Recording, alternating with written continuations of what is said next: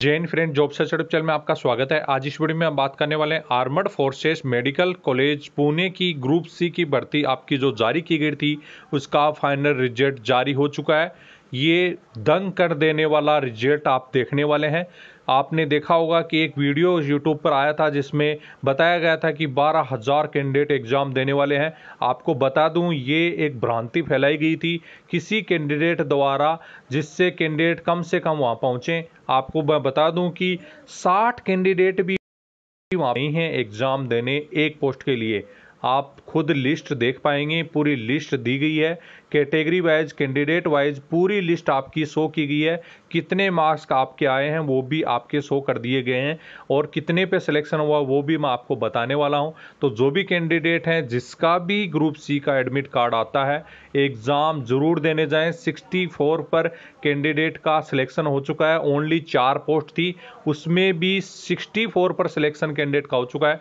मैं आपको पिछले वीडियो में बताया था कि आप किस प्रकार से आपका जो पेपर है एग्ज़ाम पेपर जो ऑनलाइन जो लगा था, उसको भी डाउनलोड करने के लिए बताया गया था। लेकिन फिर भी कैंडिडेट ध्यान नहीं देते हैं। बहुत ही कम यूज़ विषय पेपर के देखने के लिए जो आए थे।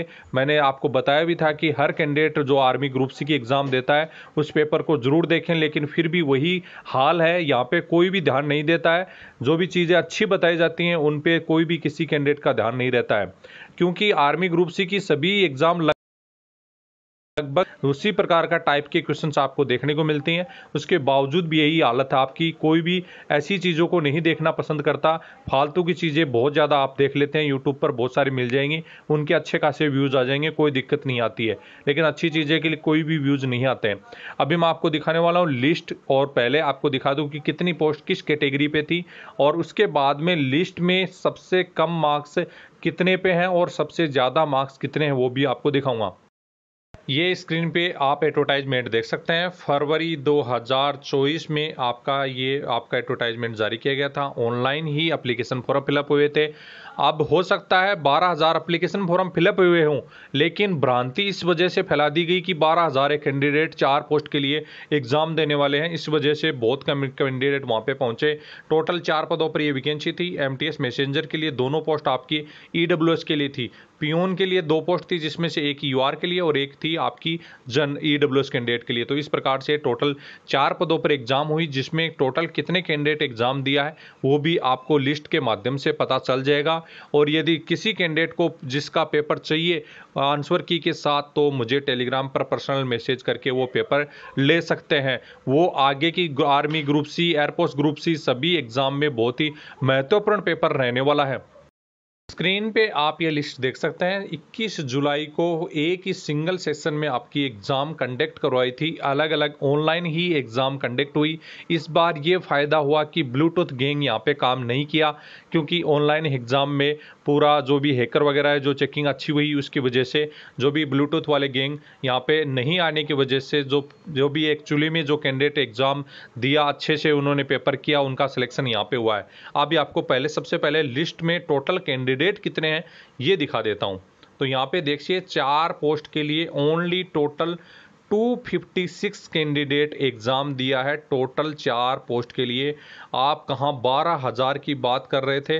बारह हज़ार यदि इतने कैंडिडेट को बुलाया जाता तो इतने कैंडिडेट कम पहुँचते ऐसा नहीं हुआ।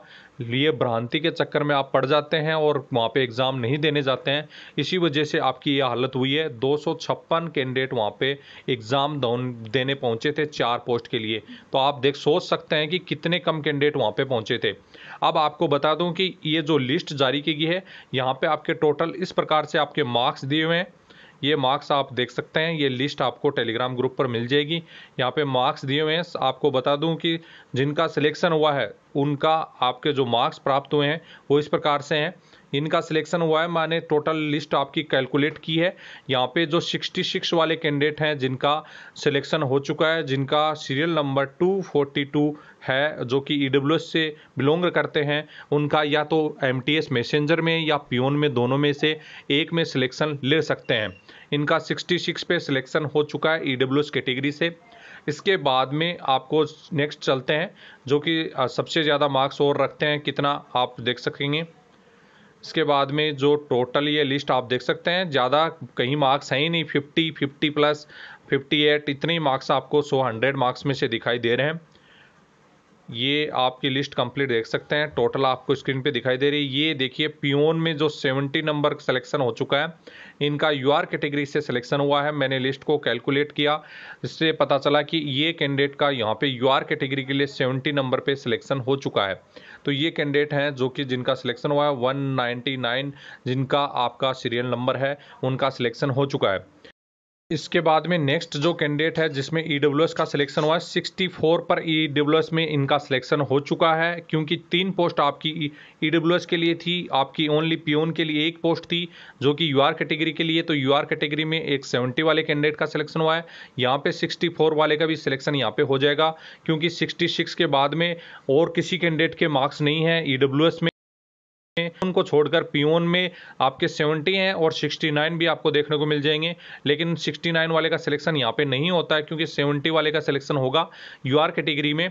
तो ये लिस्ट आप देख सकते हैं, जिसमें 116 वाले का सिलेक्शन हो चुका है, जिसके ई डब्ल्यू कैटेगरी से एक वाली जो आप लिस्ट में देख रहे हैं, उनका सिलेक्शन हो चुका है।